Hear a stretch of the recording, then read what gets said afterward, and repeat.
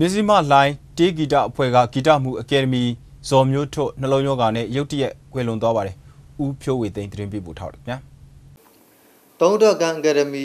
ဂီတာမှုဥစော်မျိုးတို့ဟာဇန်နဝါရီ9ရက်ည8နာရီခွဲကျော်လောက်မှာနှလုံးရောဂါနဲ့ရုတ်တရက်ကွယ်လွန်သွားခဲ့ပါတယ်။အကယ်ဒမီဇော်မျိုးတို့ဟာဖခင်ဖြစ်သူဂီတပညာရှင်စန္ဒယာလှထုတ်ကွယ်လွန်ခဲ့တဲ့14နှစ်တည်တင်းပြည့်တဲ့ဇန်နဝါရီလ9ရက်နေ့တနေ့တည်းမှာပဲ ကွယ်လွန်ခဲ့တာပါ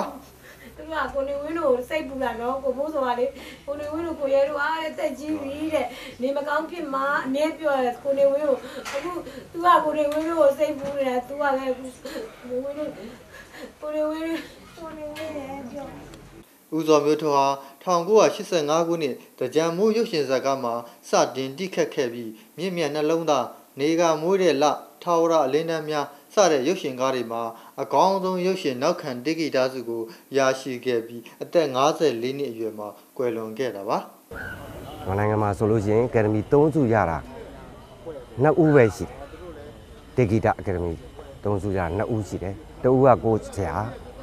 ဂီတလူလင်ဦးကိုကိုကိုကိုလည်းဆုံးသွားပြီ။အဲ့ဒီတက်ရှိတင်ရှား3စုပိုင်ရှင်ကဘုဇော်ကြီးတယောက်ပဲရှိတယ်။ အဲ့ဒါအခု तू ကတကယ်ပဲကွာတကယ်ကိုရုပ်တရက်ကြီးပဲ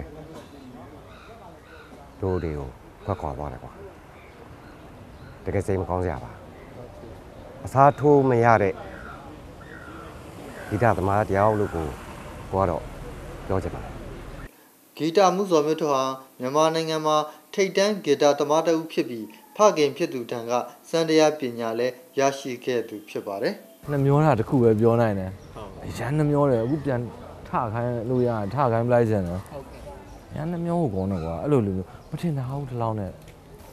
ပြီးခဲ့တဲ့ရက်ပိုင်းတွင်ကပေးရခဲ့တဲ့2012အတွက်အကယ်ဒမီစုပေးပွဲမှာအကောင်းဆုံးရုပ်ရှင်နောက်ခံတေဂီတာစုကိုချီးမြှင့်ခဲ့ပါသေးတယ်။ဦးစော်မျိုးတို့ဟာတေဂီတာအကယ်ဒမီစန္ဒယာလက်ထွက်ရဲ့တားဖြစ်ပြီးကိုယ်တိုင်လည်းတေဂီတာအကယ်ဒမီ၃စုကိုရရှိထားသူပါ။ကွယ်လွန်ချိန်မှာဇနီးဒေါ်ခင်မာထွေးနဲ့တား ကိုနေလင်းထွတ်ကိုလာမင်းထွတ်တို့နှစ်ဦးကြံရစ်ခဲ့ပါတယ်။ဦးစော်မျိုးထွတ်တဲ့ဇာပနာကိုဇန်နဝါရီလ9ရက်နေ့မှာပြုလုပ်ဖို့စီစဉ်ထားပါတယ်။ကျွန်တော်ဖြိုးဝေသိန်းသတင်းပေးပို့ထားပါတယ်။